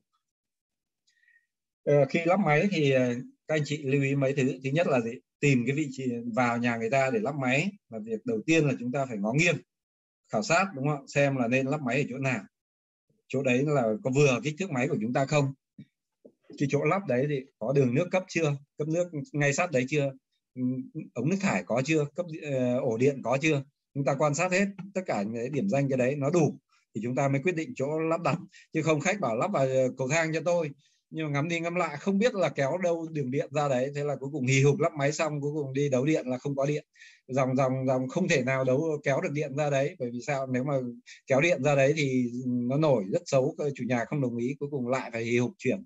Nên là gì? Chúng ta phải khảo sát trước, xem lắp ở đâu và gì? Đầy đủ điều kiện chúng ta mới bắt đầu tiến hành. Và gì? Đặc biệt là không ờ, chọn nguồn nước cấp cho máy là gì? Thông thường trong nhà người ta, đặc biệt dưới bếp thì bao giờ nó có một vòi nóng, vòi lạnh cái vòi nóng là gì chảy từ cái bình nóng ra. Nên chúng ta phải chọn là biết chắc chắn là trong cái hai cái cái cái cái đường cấp ấy, trong nhà thường là gì đường đường nước nóng từ bình nóng ra và đường nước lạnh thì bao giờ chúng ta phải biết khẳng định chắc chắn là chúng ta đấu vào đường gì đường nguồn nước lạnh chứ không bao giờ lắp nước nóng. Lắp nước nóng thì các cái lõi lọc của chúng ta là bằng nhựa nó sẽ bị xoăn hết nó hỏng mất. Đấy là coi như máy mới nhưng mà chỉ cần chạy một lúc với cái nhiệt độ cao 7 80 độ thì nó xoăn hết nó hỏng mất thì nữa các ờ, sau khi mà chúng ta chọn được nguồn nước rồi chọn được nơi lắp đặt thì chúng ta đi đo các cái khoảng cách từ máy lên cái vòi dùng, đúng không? từ máy ra ra bình áp rồi từ máy ra cái đường dây thải, ra ra cống thải đi như thế nào đo cắt dây đó.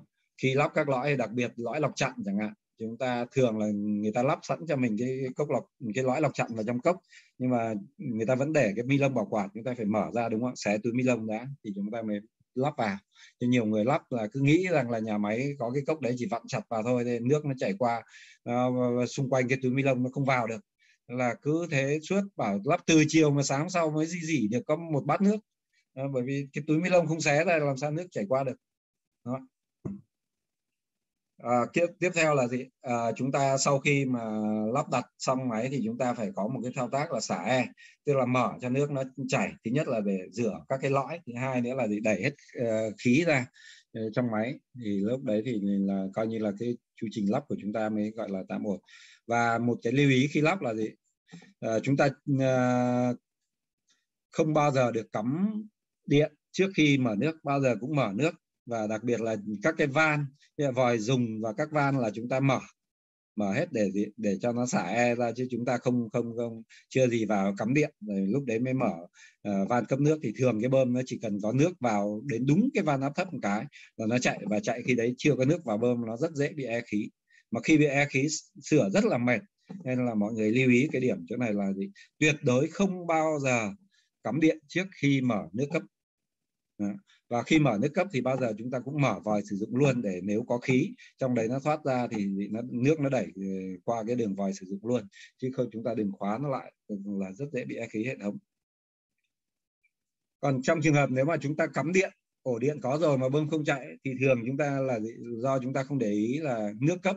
Nhà người ta cái bể cấp nước ấy, nó thấp quá so với máy hoặc là gì thậm chí là bể ngầm. Thì trong trường hợp ấy các cái máy của chúng ta nó có một cái công tắc màu xanh xanh ấy chúng ta ấn thực chất của cái đấy là gì? Để đấu tắt cái van áp, áp thấp. Làm gì? Cái van áp thấp bình thường nó hở có nước vào thì gì? Nó mới mới đóng tiếp điểm. Thế bây giờ cái công tắc đấy nhằm mục đích gì? công tắc màu xanh chúng ta ấn đấy là nhằm mục đích là gì? Đợi, làm cho cái tiếp điểm đấy là nó dính lại và cấp điện cho bơm. Còn nhưng cái tai hại của cái việc nếu mà chúng ta bấm cái nút xanh xanh ấy, là trường hợp mất nước liên tục mà nhiều ngày mà bơm nó cứ chạy suốt thế thì bơm nó nóng thì nó sẽ hại bơm cái tuổi thọ bơm nó không được lâu cho nên là mọi người có cái nút xanh xanh ấy thì hạn chế không nếu không cần thiết thì đừng có bấm cái nút công tắc xanh xanh ở trên máy. Chỉ trừ trường hợp là gì áp lực nước yếu quá buộc phải ấn cái đấy thôi. Và gì khi lắp thì chúng ta nên đo TDS của nước tinh khiết và nước đầu vào. Bao giờ cái nước uh, tinh khiết cái đường nước tinh khiết chúng ta đo TS nó phải nhỏ hơn 40 thì chắc chắn là chúng ta yên tâm là không bị lỗi gì. Còn nếu trong trường hợp nó lớn hơn 40 nên tốt nhất là gọi điện cho bộ đội kỹ thuật chúng tôi kiểm tra xem là trường hợp ấy có hợp lý hay không. Nếu nó cao thậm chí nó cao nước đầu ra bằng nước đầu vào thì đều bằng nhau ấy, thì chứng tỏ chắc chắn chúng ta lắp sai ở đâu đấy rồi. Đúng không? và chúng ta luôn luôn rửa máy lau chùi kiểm tra xem có dò gì không uh, dọn sạch chỗ lắp và bàn giao dặn chủ nhà đàng hoàng trước khi ra về. Và tôi cũng sinh ra một cái form biểu mẫu ấy và để mọi người điền vào đấy và ờ, xin ý kiến khách hàng ký thì cái cái form đấy khi chúng ta kèm với việc lắp đặt xong chúng ta tốt nhất là mời chủ nhà đứng cạnh cái máy chúng ta lắp ráp ấy chụp thì, thì càng tốt. Thì chúng ta sẽ chụp ảnh máy. Và cái cái form là chúng ta gửi lại về để ờ, làm thủ tục thanh toán tiền lắp đặt. Và một số cái lưu ý khi lắp đặt máy là gì? Chúng như tôi vừa nói là gì vào nhà bao giờ cũng hỏi xem là cái nguồn nước cấp người ta là nước máy trực tiếp hay qua bơm tăng áp hay là gì bể ngầm để khi chúng ta lắp là chúng ta không bị à, ngỡ ngàng khi mà mãi không thấy là máy chạy. Nếu mà nước mà từ bể ngầm hoặc nước yếu quá thì chắc chắn là gì chúng ta phải ấn cái công tắc à, mà đấu tắc van áp thấp để mà máy mới chạy được đó. Và thì một lần nữa tôi nhắc lại là không bao giờ các thiết bị lọc nước là chúng ta cắm điện trước khi cấp nước vào nó chúng ta phải cấp nước đầy đủ cho hệ thống nước vào được đã đúng không chúng ta mở van cấp nước đã rồi mới cắm điện. Và cái máy RO khi chúng ta lắp ấy, thì khoan đã cố định cái đường nước thải. Chúng ta để chúng ta kiểm tra xem khi máy chạy là cái đường nước thải nó chảy ra tốt chưa đường nước tinh khiết có chưa. Và thường cái đường nước tinh khiết ấy, là mới chạy chúng ta nếu mà cái máy mà mà mà có cái bình áp rời để ngoài ấy, chúng ta khóa cái bình áp lại cho nước nó chảy lên là chúng ta xem cái dòng nước nó có được như sợi dây điện liên tục một ly không? Thì đấy là nước tinh khiết đã ra đúng rồi. Còn nếu mà chúng ta lắp mà cứ nhắm mắt, nhắm mũi xong ờ, xong máy theo đúng thủ tục chúng ta đi về không kiểm tra đưa lưu lượng các thứ là nhiều khi nó đang bị lỗi đâu đấy mà lúc sau thì chúng ta về khách lại gọi lại. Và một cái nữa là cái đường thải ấy. Cái đường nước thải là cũng rất là quan trọng ở chỗ là nếu chúng ta nghĩ rằng nước thải cần phải cắm sâu vào cống thải, đường nào nó cũng thải đi thì là đấy là một cái rất tai hại. Vì nếu chúng ta cắm cái dây thải mà sâu vào trong cống thải ngập sâu trong cống thải thì đấy là cái nguồn mà cái cống thải nó rất nhiều vi khuẩn vi trùng vi khuẩn. Nó sẽ bò theo cái ống nước thải đi lên màng RO và nó làm nhanh chóng tắc màng RO chưa kể nếu nó bám lâu ngày ở trên cái màng RO thì nó gì nó bò trườn sang đường nước tinh khiết và gì, máy của chúng ta rất dễ bị nhiễm khuẩn. Đấy. cho nên là gì cái đường thải chúng ta không nên là cắm sâu trong cống thải. Tốt nhất là gì cách không bao giờ cho nó cắm vào cái cái nước trong cống thải và chúng ta lắp cách nó ra đúng không ở phía bên trên. Cái đường nước mà mực nước thải nằm dưới này thì bao giờ cái cái cái ống chúng ta cắm vào là phía bên trên tránh cho cái việc khuẩn nó bò trong cái cái đường cống thải. Và nếu mà à, máy mới máy RO lắp mới chúng ta nên gì? Xả rửa ừ, khuyến cáo khách hàng là năm cái cái năm cái bình đầu tiên ấy năm cái bình chứa ờ, chứa nước tinh khiết đầu tiên ấy là xả rửa để chỉ để dùng rửa thôi đừng để uống ngay. Tại sao thế? Thứ nhất trong các cái lõi trong màng là gì? nó có chất bảo quản thứ hai ví dụ những cái lõi than lõi hạt ấy, khi nó đi vận chuyển ấy, thì bao giờ nó cũng lắc nó làm cho các cái hạt xô vào nhau kèm theo nước vào nữa là gì? nó sẽ đẩy các cái vụn than đấy ra và gì? người ta sẽ thấy cái cái vụn than màu đen nếu mà ví dụ như mới thì chúng ta sẽ thấy nó trong rồi nhưng thực tế nếu mà nhà nào kỹ ra lại lấy khăn lấy ghét là chặn lại thì cái nước ấy chúng ta sẽ vẫn có thể thấy cái vụ than mịn mịn mịn cho nên là gì khuyến cáo khách hàng ngay từ đầu là phải xả để hết cái cặn đúng không? Một là chất bảo quản hai là các cái cặn ở trong trong trong lõi ờ, các cái cặn vỡ của hạt than vân vân cho nó sạch. Thì sau đấy người ta uống và người ta hứng nước dùng thoải mái người ta không không thắc mắc. Đó và ừ, chúng ta để tránh đặc biệt là những, anh em chúng ta mới mới lắp thì chúng ta nên có cái bút đi kèm để đo cái đường nước tinh khiết như tôi vừa nói đúng không? Ạ, nước tinh khiết đo ra pds bao giờ nó nhỏ hơn 40 chúng ta yên tâm đi về. Và đặc biệt là gì? Đường nước tinh khiết bao giờ TDS nó cũng phải nhỏ hơn ờ, đường nước cấp vào ra nhiều lần. Thì chúng ta mới thấy là đúng còn ngược lại mà TDS đầu ra nước tinh khiết nó cao thậm chí cao hơn nước đầu vào chắc chắn là chúng ta đấu nhầm. Đấy thì ờ, sau đây ờ, tôi sẽ cho mọi người xem cái video về lắp máy RO hai cái loại máy mà chúng ta thường dùng. À, tôi xin dừng ở đây hỏi các anh chị là phần vừa rồi nói có nhanh quá không? Có cái gì chưa rõ không? Nếu mà mọi người thấy rõ rồi thì gõ cho mình số 1 để chuyển sang phần xem video. Anh cho em hỏi cái cái cái chỗ mà cái phần mà mình không cắm điện trước mà để lắp ờ, cái để để cho nước nó chảy qua trước anh vậy à. nếu mà bể ngầm á thế ví dụ người ta xài bể ngầm mà, mà nước nó không vô được thì mình có phải cắm điện để mà mở cái van mà áp thấp không anh trong trường hợp ấy tức là là bất đắc dĩ thì vợ, vợ anh vẫn cứ phải là gì vẫn phải cắm điện lên thôi và nó kéo. Nhưng mà trên cái đường hút ấy thì tốt nhất là anh nên mua thêm một cái cái van một chiều để nước tránh trôi ngược. Bởi vì mỗi lần hút nó mất rất nhiều thời gian 5 đến 10, 10 phút 50 phút kéo đủ lên nước lên tùy theo theo cái cái bơm ờ, thì thường là nó mất nhiều thời gian. Cho nên là nếu mà anh không có cái van một chiều ở cái cái chỗ cắm xuống bể ấy, thì nước nó trôi xuống mỗi lần mút lại thì nó phải kéo một khoảng không như thế rất mất thời gian đúng không ạ? Nước nó trôi xuống mà. Anh thấy là ví dụ như là là, là chúng ta hút nước lên bể thế đúng không? Bao giờ nó có cái chõ vào cái van một chiều giới thì trong trường hợp này nếu chúng ta thả cái dây xuống để hút nước từ bể chúng ta lưu ý nên mua cái van một chiều. Ở đấy đúng không? và um, tốt nhất là hạn chế cái việc mà mà hút bể ngầm bất đắc dĩ lắm, mới lắp. Những cái trường hợp đấy thì sao? Có thể chúng ta lắp xong chạy rồi, nhưng mà chỉ một vài ngày nào đó, đúng không nước nó trôi đi và hút nó lâu hoặc là nó bị e khí là đến sửa, rất là mất thời gian. Nên là thường là là mình khuyến cáo là khách là, một là nên lắp thêm bơm tăng áp, bơm đẩy lên hoặc là có bể chứa. Thì trong trường hợp mình lắp máy đỡ bị trục trặc hơn. Còn buộc là người ta ví dụ như hạn hữu lắm có những nhà người ta dùng bể ngầm ấy, thì trong trường hợp ấy là lâu lâu là lại người ta lại nhờ mình đến sửa ấy, bởi vì dễ bị e khí. Dạ vâng cảm ơn ạ. Rồi có anh chị nào có thắc mắc gì không? Cứ mở mic để chúng ta trao đổi ạ. Rồi, rồi sau đấy chúng ở đây có một số người quan tâm đến cái dụng cụ uh, lắp đặt mua ở đâu. Dạ các cái cửa hàng uh, uh, cơ khí điện máy đầy ạ. Máy khoan các thứ hoặc là bây giờ search google máy khoan cái thì nó ra cả một đống. Và tốt nhất là gì? Chúng ta có tiền mà làm thợ lâu dài chúng ta sắm đồ xịn. Còn nếu mà ít tiền mà, mà tạm thời đi lắp cho nó quen tay thì chúng ta có thể mua cái đầu của tàu thì dùng thời gian ngắn. Nhưng mà giá nó rẻ. Anh anh ơi cho em hỏi cái. Rồi ở nhà em có khách ờ, họ dùng ờ, được tức là một thùng ví như cái thùng sơn ấy họ ừ. hút vào rồi họ lại để cho đường nước thải vào rồi đừng hút đấy luôn ấy. Ừ. gọi là họ tiết kiệm nước ấy. có được không nhỉ ờ, cái đấy được nhưng mà tức là như này trong cái thiết kế đấy thì cái phần hút ấy là nó phải để cách đáy bể khoảng một phần ba và cái gì? Phần thải thì cắm xuống dưới. Lý do là gì? À, khi mà nó hút đến hai phần ba rồi gần hết cái, cái phần nước ấy, thì, thì người ta phải đổ cái nước đi đi thay. Bởi vì nếu mà cứ cắm liên tục xong đổ vào đấy thì nước ngày càng cái cái thải nó thải vào đấy đầy đúng không?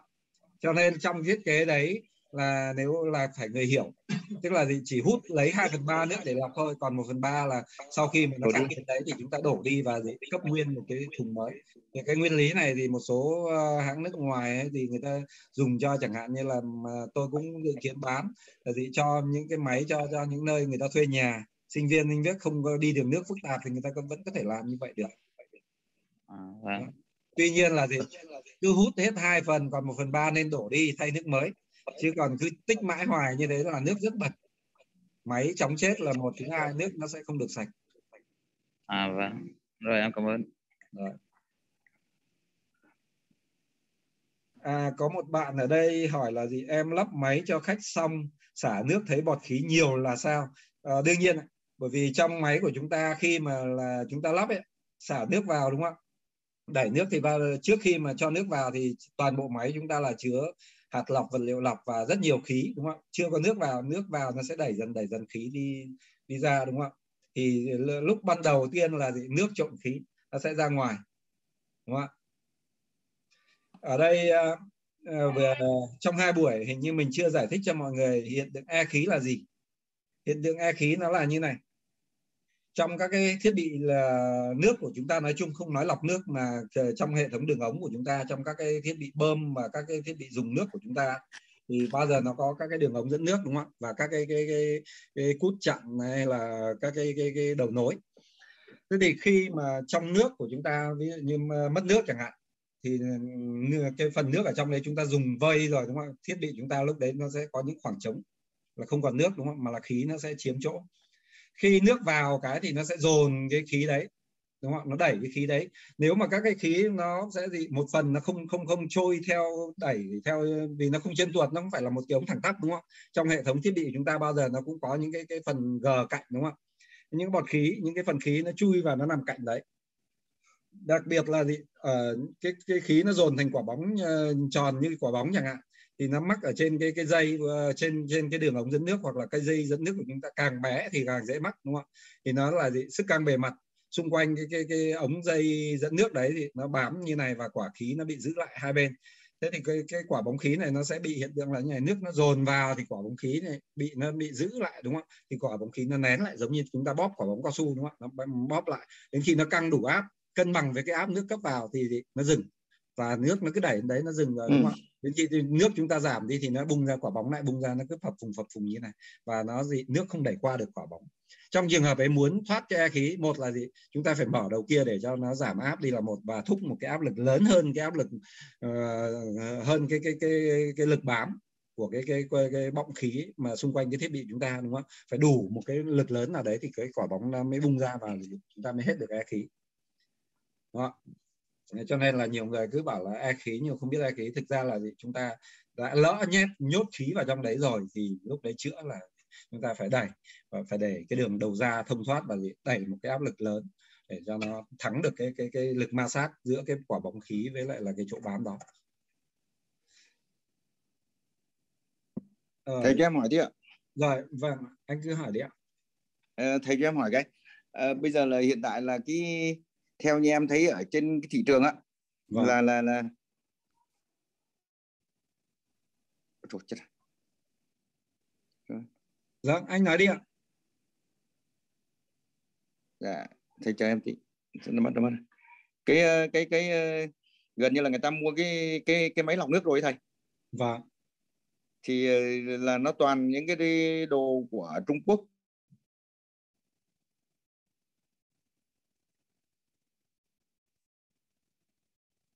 sóng của chỗ anh à, yếu quá lại mất sóng rồi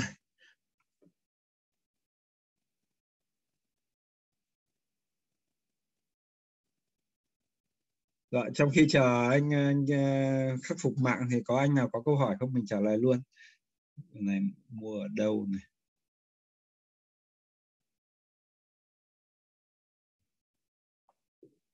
Thầy cho em hỏi cái này. Rồi rồi. Cái, hôm qua em vừa đi uh, kiểm tra cái máy uh, lọc nước của khách hàng trước đây họ sử dụng á. Thì là cái um, cái đường nước mà dẫn vào loại số 1 á thì là nó bị tắc. Thì là ừ. do kiểu uh, người ta dùng nước nước bể á, bị rong rêu nhiều á. Rồi rồi. quá trình, trong quá trình hút thì nó cái rong rêu nó vào ở trong cái tắc cái vòi vòi dẫn vào á. Rồi. Thì uh, sau khi kiểm tra thì uh, thì uh, em đưa về em uh, thông thông cái vòi ở đấy thông cái vòi tắt thông cái vòi đấy là xong vào thay là được. Mà bây giờ em muốn hỏi là xem có cái ờ, mình có cái biện pháp nào có ừ, lắp đứng trước cái vòi ở đấy có cái màng để cho nó chặn lại các cái dòng rêu ở đấy không? Mà thầy. À, thứ nhất thông thường máy RO thì chắc là bạn bị dính cái trường hợp là lắp máy RO cái dây dẫn vào dây 6 không phải dây 10 đúng không? Dây dây 6 là dây 10 dây 10 dây 10 thôi ạ. Dây 10 mà vẫn bị.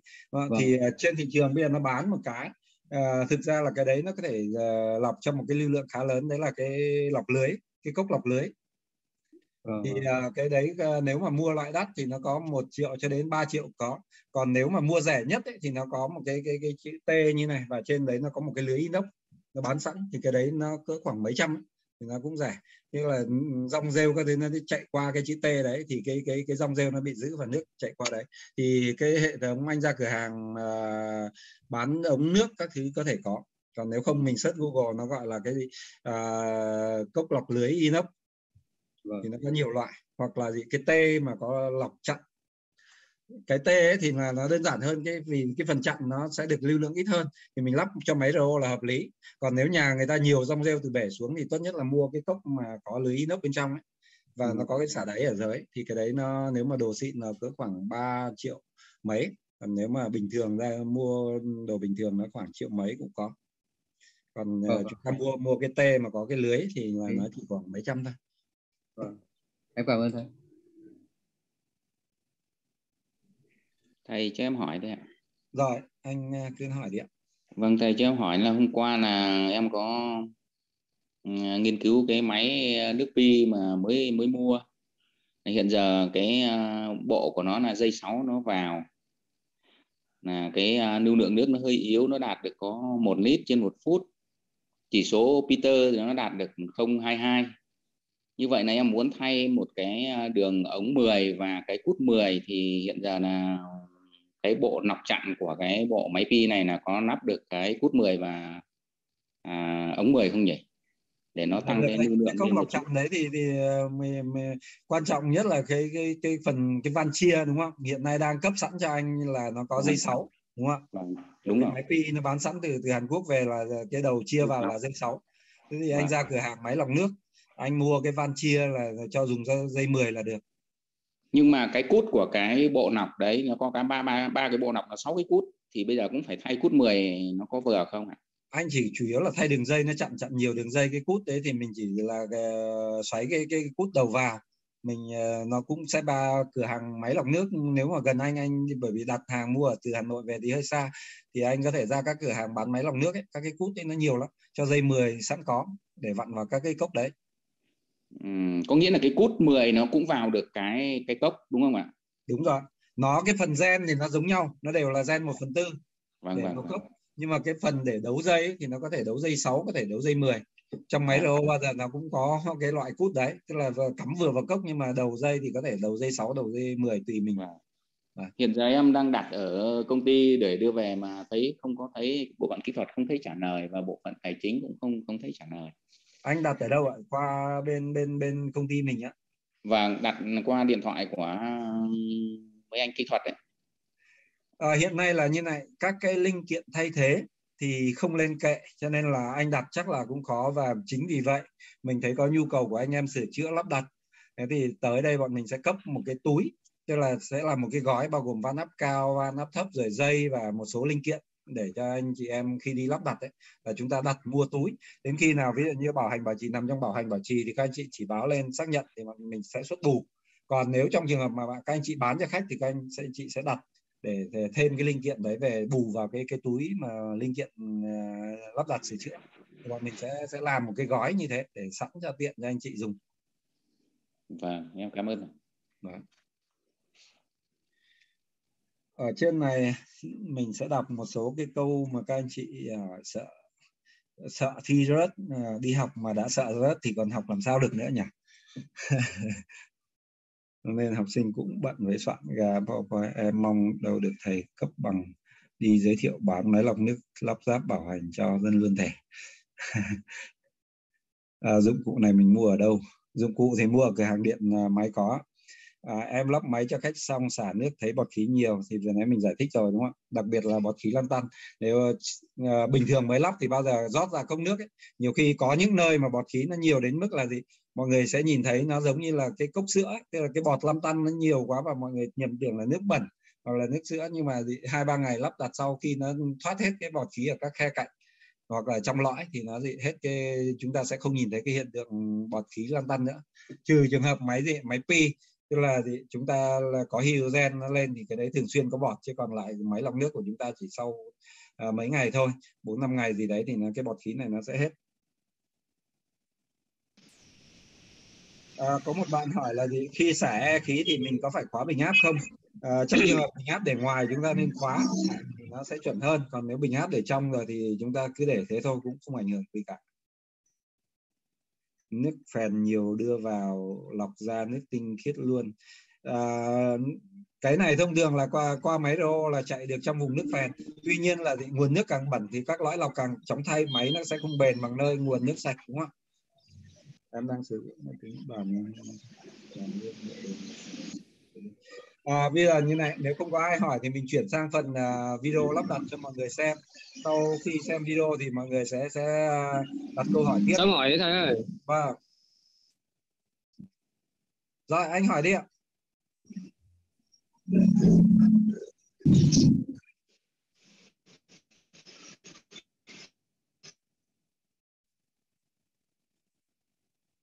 Alo anh nào đấy vừa mới muốn hỏi hỏi đi ạ. Mở mic lên hỏi đi ạ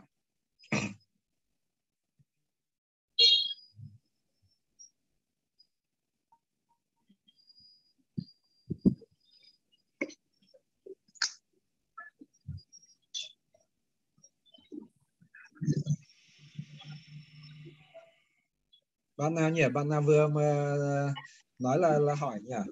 Dạ dạ thưa thầy cho em hỏi tí. Vâng dạ thưa thầy cho em hỏi là cái ờ, hệ thống máy lọc nước của mình ấy, cái đường cái tỷ lệ giữa cái nước sạch ấy, với là cái nước uh, thải ra là là là nó như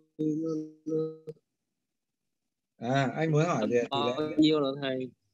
Trong cái công nghệ RO này. trong máy. Vâng thấy chủ nhà họ phản ánh là nước ờ, nó thải ra nhiều quá đó. Vâng. Rồi dùng câu hỏi này rất hay phải là, là không Ờ, tiết kiệm mình nước là cũng nhiều người chưa biết cho nên sẽ giải thích cho mọi người vấn đề thứ hai cái bình chứa thì làm bất bí sao ạ? Cái bình chứa sao anh? Nó bị gì rồi nó bị bị bị bị, bị hỏng cái bình chứa ấy thì bên Ừ. mình dùng chất liệu của cái bình chứa đấy. Dạ. À, rồi mình sẽ trả lời hai câu hỏi của anh cái câu hỏi đầu Truyền. rất là hay. Để ở đây nhiều người Vâng. là đi lắp máy RO nhiều rồi nhưng mà cũng không biết là tại sao khách kêu là nước thải nhiều. Về nguyên tắc cái công nghệ ờ, máy RO đa phần trên vâng. thị trường hiện nay ấy, cái đường nước tinh khiết luôn ra là gì? Nó để là 50 gallon ấy thì là 10 lít trên giờ. Và đường thải ví dụ như mình nói cái flow vừa nãy là gì? Ờ, phổ biến nó sẽ là 300 hoặc 400 cứ cho là 400 đi đúng không ạ? 400 cc là 24 lít giờ.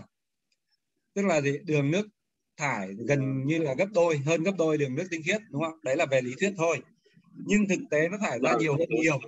Tại sao thế? Tại vì vừa nãy các anh chị nhìn thấy cái bình chứa của chúng ta cái nguyên lý của cái bình chứa đúng không? Cái bình chứa của chúng ta là hai ngăn đúng không? Một ngăn dưới là chứa khí và phía trên là nước vào. Thế thì khi mà cái quả bóng khí cái bình áp mà chưa có nước vào ấy, thì khí nó nhẹ đúng không? Nước nó vào nó đẩy cái cao su ấy thì là gì nước nó vào được khoảng 10 lít giờ. Nhưng càng đẩy thế càng đẩy cái cao su xuống thì khí càng bị nén thì nó sinh ra cái áp ngược làm cho nước vào đây sẽ chậm dần đúng không sẽ không được 10 lít giờ nữa bởi vì nó có một cái lực cản dần.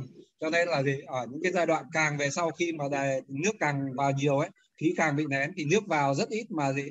Ra đường thải thì vẫn là 24 lít giờ đúng không? Còn còn đường nick tinh khiết vào là nó không phải 10 lít nữa mà nó sẽ theo điều gì 10 lít 8 lít 4 lít ờ, 3 lít 2 lít càng gần đầy bình thì càng vào được rất là ít đúng không ạ? Và đặc biệt các cụ về hưu ấy là các cụ thắc mắc chúng ta phải lắng nghe là gì? Các cụ dùng một cái xô để hứng nước thải đúng không vì Vâng. tiếc tiếc nước thải cho nên là gì? Bảo nhà ngày tao hứng ra cùng lắm 10 lít mà tao thấy ừ, cái nước xô nước thải nó phải là gì? Đến phải 70 lít 70 lít. Cái đấy hoàn toàn đúng ấy. chứ chúng ta không bưng cái lý thuyết ra là gì? Nước thải ra có 24 lít giờ nước tinh khiết 10 lít giờ ông dùng 10 lít là ông thải ra có 24 không đúng. Ông dùng 10 lít nhưng mà gì mỗi lần ông hứng vào cốc ông lại khóa cái vòi lại đúng không? Thì để bù một cốc đấy thì nó phải mất là gì? Cái cốc mà khi mà, mà nó gần đầy rồi chúng ta lấy một cốc thì lúc đấy nước thải chúng ta phải ra gì? Từ 4 đến 7 cốc nước thải. Đấy tại sao mà thì rất nhiều người thợ cứ nghĩ là là là là mấy ông bà nói bừa nhưng mà cái đấy là đúng bởi vì dựa trên cái nguyên lý của cái bình chứa chúng ta nếu bình chứa mà chúng ta cứ nhấp nhấp mỗi lần lấy cốc thôi thì, thì thải ra rất nhiều Đó. nếu mà cho nó chạy một mạch ấy, thì thường để đầy mình chứa 10 lít thì nó sẽ xả ra khoảng 30 đến 40 lít nước thải nhưng nếu chúng ta mà cứ lấy một cốc xong lại khóa lại tức là máy sẽ chạy bù một cái cốc đấy thì nó phải mất khoảng 7 cốc nước 7 cốc nước nhỏ này đúng không đấy, cho nên là là, là à, không phải là ờ, là là do máy nào nó thải nhiều đâu mà vấn đề là còn do thói quen sử dụng này nếu mỗi lần chúng ta lấy ra quá ít đúng không máy lại chạy lại để bù cái đấy thì thải ra rất nhiều. Vâng cái câu thứ hai của anh ấy là bình áp mà thường bị rỉ ví dụ như nhà mình từ cái ngày mình làm RO giờ mình vẫn lắp cái máy đấy và bình áp chả vấn đề gì. Lý do làm sao? Không phải do chất lượng bình áp mình tốt hơn cái bình áp của anh đâu mà vấn đề mình để cái nơi nó khô ráo để cho nó không bị ẩm nhưng mà thông thường tại sao đến nhiều nhà khách hàng là sau hai ba năm cái bình áp nó dỉ phen dỉ phẹt sao? Bình áp đấy thông thường sẽ là gì? Bên ngoài là nó có hai loại bình nhựa không nói nhưng mà nếu mà bình kim loại ấy, thì người ta là làm bằng kim loại đúng không? Sau đấy người ta sơn kể cả là sơn tĩnh điện vân vân. Nhưng mà môi trường vừa ẩm ẩm ướt đúng không? Thì một thời gian sau nó rất dễ bị mòn dần mòn dần và gì thì cho nên là lưu ý khách hàng nếu mà là những cái nơi lắp máy rất là quan trọng thứ nhất là gì đừng nên để ra nơi ánh nắng chiếu trực tiếp đừng để nơi ẩm quá đừng để nơi gì vượt gần cảnh nhiệt đặc biệt ẩm sẽ làm gì? Các cái linh kiện mà kim loại thì nó sẽ bị dỉ như anh nói Đó, của bên tại người cho nên là mình khi đi lắp mình cũng tư vấn cho khách hàng luôn. Chỗ nào mà ẩm ướt quá chẳng hạn rất nhiều nhà và gì? Cái chậu bếp như này và thì không được đặt cái chậu lên thì phải bơm đi côn xung quanh cái cái, cái mép chậu để nước trên không lọt xuống. Rất nhiều nhà bơm sơ xài xong mình đến lắp chẳng hạn thì nước nó đã ngập tổng tổng của bếp rồi. Thì lắp cái gì xuống dưới đấy nó